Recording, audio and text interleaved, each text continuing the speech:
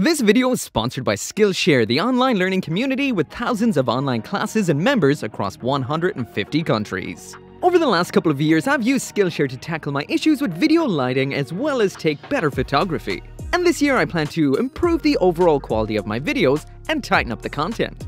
If you're looking to improve your own videos or to get started on your own YouTube journey, then YouTube Success Script, Shoot and Edit with MKBHD is literally all you need to go pro instantly, teaching you everything you need to know and more.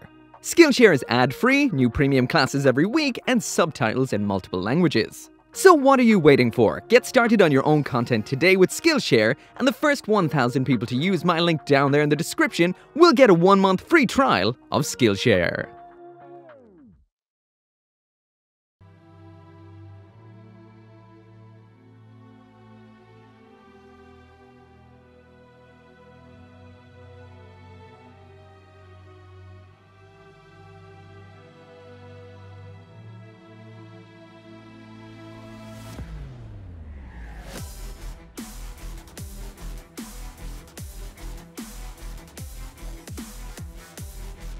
Hey, what is up everyone? Welcome back to another video and today I'm taking a look at something that you guys have requested quite a bit and something I've been meaning to take a look at for quite some time. Now if you are into plastic model kits at all, you'll know exactly what these are because they've been setting the plastic model community on fire, especially the ASMR snap build scene.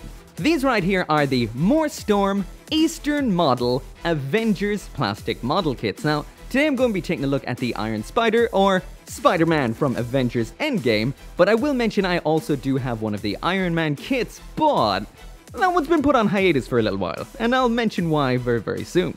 But just jumping into answering the big question, if you're like me, what you'll want to know straight away is, are these kits actually any good? Because, in a way, they are pricey enough. However, the bang for the buck really is here because these feature some awesome extras, but I guess the bottom line about these kits is they are very innovative, but not very intuitive. So yes, they are fantastic, but this kit in particular has quite a few major issues.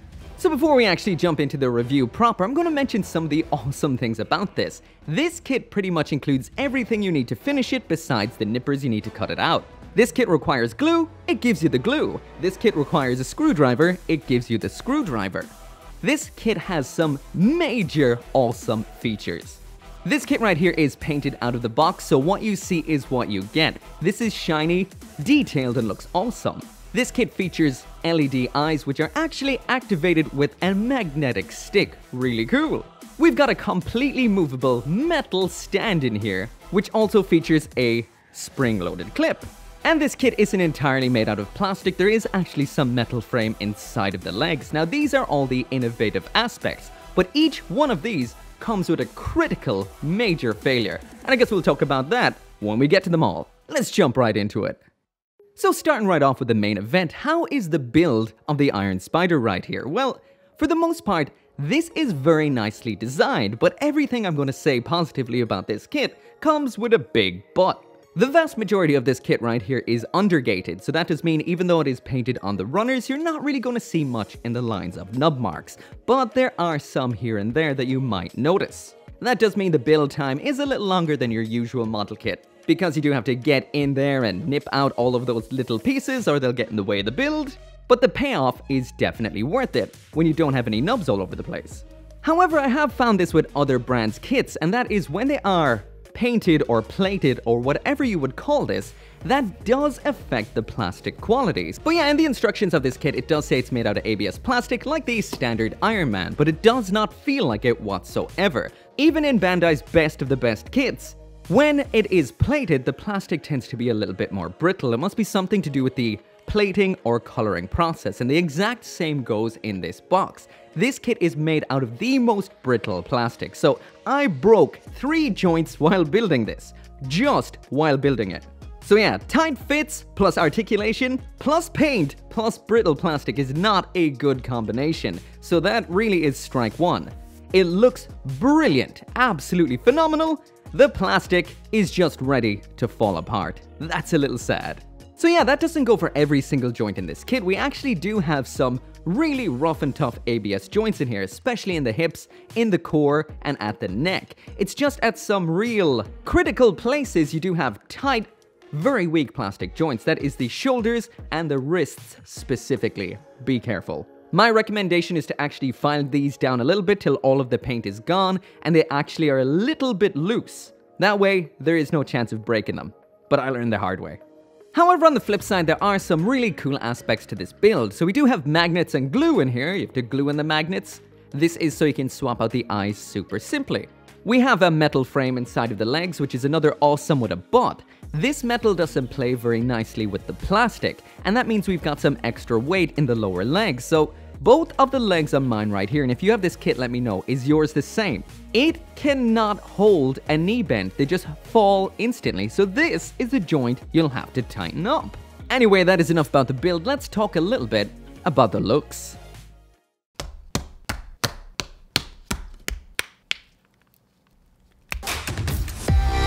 So jumping right on into the aesthetics with that usual full 360 spin so you can see every angle of this kit for yourself. And I will mention, this looks so, so good. The colors on this are fantastic. For example, the red here is that chromed underneath with a transparent red on top, giving it that brilliant candy finish that really catches the light. Next up we have the gold on here, which has a kind of matte or brushed gold kind of vibe. This is a nice contrast to the very, very shiny red, and if this was a super shiny gold, it probably wouldn't sit against it as nice as what we're seeing here.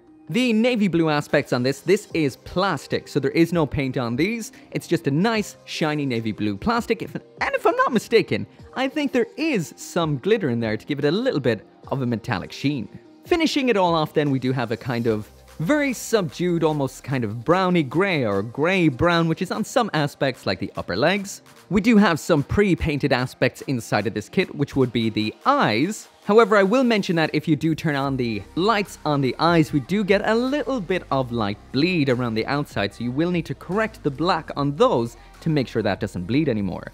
We do have multiple options for the head and the eyes, but I'll talk about that in the accessories, which will be coming up next. But yeah, Spider-Man right here, looking incredible. So there is one element about this particular model kit that may not appeal to some people. Now when it comes to Iron Man, the plastic model kit vibe kind of works because Iron Man's suit is segmented and made of a bunch of different parts. But when it comes to the Iron Spider, Spider-Man has more of a streamlined suit kind of look. This particular kit here is jointed up with obvious ball joints at the shoulders and the hips, which does kind of take away from that. On the whole, for me, this isn't a big issue, but to some people, this might stand out a little bit compared to other options like Hot Toys, which cost a whole lot more. For me personally, my only major gripe with this kit is the fact that it is so brittle. I want to get some extreme, typical, over-the-top acrobatic Spider-Man poses out of this, but I'm pretty much terrified to move a lot of the joints, especially up at the upper body, like I mentioned, the shoulders and the wrists. I've already broken a wrist, that's held on with Blu Tack, and I'm afraid to break a lot more.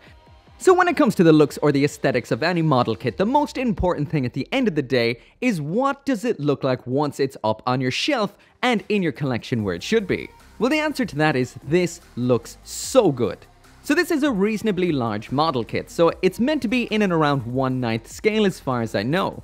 So if you combine it to Bandai's Gunpla model kits, this would be a lot bigger than a high grade, in and around the same size as a master grade and smaller than something like a perfect grade. I don't have a whole load of figures to compare it to, but there it is beside something similar from SH Figuarts, which is the Tech-On Avenger Iron Man, and something by Threezero, which is their DLX Iron Man. There it is up on a shelf for that shelf presence test, and this is definitely something that is going to stand out, especially because it does come with a stand included so you can get it airborne. So if you've got an action figure display, this is probably going to stand out really well, but if you collect larger scale action figures like Hot Toys, this will be a little bit smaller, if not a good bit smaller, I don't know. I don't have any. So yeah, what can I say when it comes to the shelf presence test? The Morstorm Iron Spider passes with flying colors. So now jumping into the accessories, and this is a kit that comes fully loaded, and if you take the price into consideration, when I got this it cost me around 80 euro, this is incredible, a 1 9th scale Spider-Man with a whole bunch of stuff. We've got an extra head, a grand total of 10 hands, a whole bunch of alternate eyes, some web effects, and there's even some things in here that are incredible. We even have included glue, batteries, and a screwdriver. Finally then we do have a full stand in here as well, which matches up with the Iron Man stand so you can connect all of these together for a Hall of Armor kind of display. That is pretty cool. Anyway, let's check them all out one by one.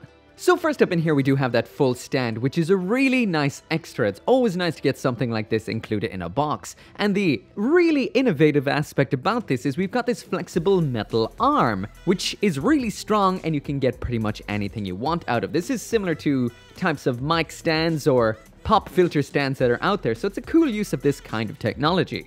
However, the clip section is just not as good. The section that tightens it round back just broke while I was recording this, so that it means this plastic is very brittle. It can be tilted up and down like so, and the front section is spring loaded. However, every time I open this up a little bit, the spring inside, which is quite weak, bends a little bit more. Every time bending, bending, bending, to this point right now where it can barely even hold Spider-Man anymore. And I found this with the version I got with Iron Man as well. The spring inside is just too weak. Again, this stand is 100% innovative just not intuitive.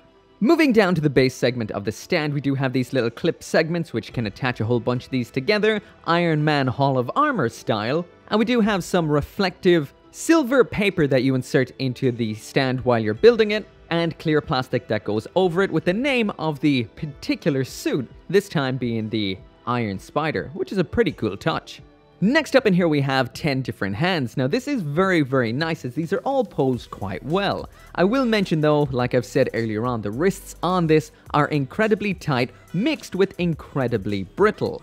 Now every joint on this kit is not brittle, it's just certain ones. Some like the hips and inside of the body and the neck are nice, rock solid ABS plastic. This isn't painted in any way, but the painted joints feel ridiculously weak once again, that's the shoulders and the wrists, and I did break one of these wrists. I recommend sanding or filing these down so they're a little bit loose so they don't get stuck inside when you're trying to turn them and then just end up breaking because once again, very, very, very delicate. As well as the hands, we do have a bunch of web effects in here, three in total. The first one being a super long one with a bit of a bit at the end, which I can only describe as Spider-Man shooting out one of his webs. The other two are two different web effects which make it look like the web is stuck to something. This widespread one, as well as a more narrow one that kind of looks like it has a bit of tension behind it, like Spider-Man's pulling on it.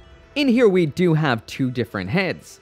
The one we've had on the whole time is the one with the LED unit inside of it. If you take this little magnetic rod right here and just bring it close to the head, this will turn on the lights, which once again is very innovative. We've got three different modes, on, mid, and off. These aren't necessarily very bright and there is a little bit of light bleed around the side so you will have to paint this up to hide that.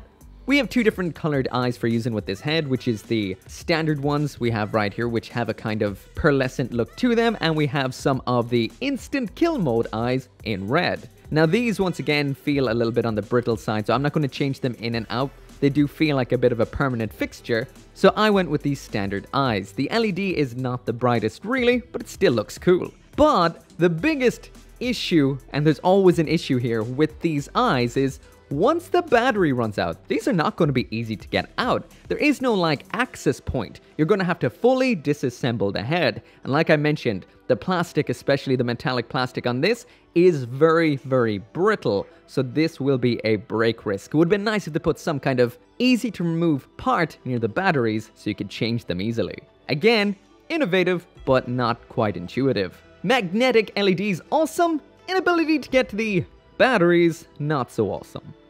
We do have a second head in here. Again, this is very smart. This is a standard one without any LEDs, and this has swappable eyes. The eyes are actually attachable via magnets. You put a magnet inside of the head while you're building it, and there's a magnet put into the back of each of the eyes. The super glue for doing this is included, just don't be like me and forget basic physics, and remember that there's poles to magnets, and if you put wrong pole to wrong pole, it's not going to stick and you're going to have to take it all apart again. So make sure it's right before you glue it. Once again, we do have two different eyes, that is standard and instant kill mode. Lastly then, in here we do have those big old spider arms. These are gnarly looking, these are really cool, and they really do show just how nice the gold colored paint in here is. The articulation on these is quite nice. It could be a little bit better, I guess, for some forward reaching over the top stabbing positions but for what we get in here this is very very nice we've got plenty of rotation bends at each of the joints, and these just look gnarly. These look really cool. To attach these, you just pop out a little bit of a flat segment in the Iron Spider's back and just attach this in like so. Once again, be careful because the plastic is brittle. So honestly, for the price of this kit, this cost me about 80 euro, which is what, 85 or 90 dollars? You get so much in here, and even though there is a couple of issues, I feel like these are just growing pains. I don't know how long Morstorm have been around, but it hasn't been that long as far as I know. So this is impressive, but I still feel like these kits are in their early stages. So finally now onto the articulation and the general build quality of this particular kit. And I'm going to keep this brief because it's actually the aspect I'm having the most issues with with this particular model kit. So I really don't feel Morstorm really took Spider-Man into consideration with this kit. This particular model kit framework to me feels definitely like it would be more suited towards a more mechanical character like Iron Man than a really over-the-top flexible, athletic, dynamic character like Spider-Man. You'll get the basic poses out of it, but nothing really feels too dynamic. For example, we're lacking the ability to twist the forearm in order to get the web shooters into that typical Spider-Man web slinging pose. It's always towards the central aspect of the body, which looks a little awkward in some poses. The ankle gives us nothing at all, a little bit to the side, but that is it, which again is very counterintuitive to a character like Spider-Man. It's very, very blocked. And I'll also mention all of the metal joints, which is the knees and the ankles, are so loose. It's to take some crazy tightening up. There is no traction to the metal, you see. There is the issues I mentioned before with the very tight joints like the shoulders and the wrists. Based on a very brittle plastic, there is a high chance of breaking and I've broken, well, multiple joints on this kit. However, when we get to the good points, there are some decent plastic joints in the torso and the neck, which means they won't break, but once again, you're not really getting too much flexible over-the-top Spider-Man action. The arms around in the back are actually one of the best aspects, and these can pose up an absolute storm. So on the whole, this does feel a little bit on the awkward side for Spider-Man, there's so many loose joints and overly tight brittle joints that once again this kit feels like it just needed a little bit more time in planning and then it could have been sheer perfection. On the whole though, if you're a modeler with some intermediate techniques that you can tighten up all of your joints and all of that jazz before you actually put this together, loosen up the ones that are too tight, then you should have a good enough time. If you're straight building this kit, it may be a little bit of a nightmare. So what can I say about the Morstorm Eastern model Avengers Iron Spider? The best way to put it is, if looks could kill, this has instant kill mode. It is absolutely phenomenal looking. The price point is fantastic too, considering everything that is going on in here. We've got Batteries included, glue included, screwdriver included, light up eyes and a whole bunch of accessories and a stand. However, a lot of the innovative aspects of this particular model kit do drop the ball a little bit. The eyes are a little on the dim side, the batteries run out quick, there is no easy way to change the batteries, the stand crapped out in me, a bunch of the joints kind of broke because of the way this has been painted, and the best way to put it is, if this was baking, there was a phenomenal, awesome, delicious looking cake in the oven about to be ready anytime soon, and someone ripped it out a little too early. So much going on in here that could have been brain-meltingly awesome, but I think that is just Morstorm pushing themselves beyond what they could do. If they keep building on this and keep innovating like this, we're gonna see some of the greatest model kits of all time. They just need to tighten it up a little bit. Anyway, as always, thank you so, so much for watching. Make sure to come back for more model kit reviews, and I'll see you next time. As always, this video and none of these videos would be possible without each and every one of you watching these videos, including those of you who are supporting me on the channel memberships and over on Patreon, including VanFon, RG59061, Lawrence Hack, Kill Me Inc., Joseph Kukluk, Joe, Gunpla UK Limited, Global Frequency Studios, Forsetti, Caleb Engelhart, and Craig Jerry.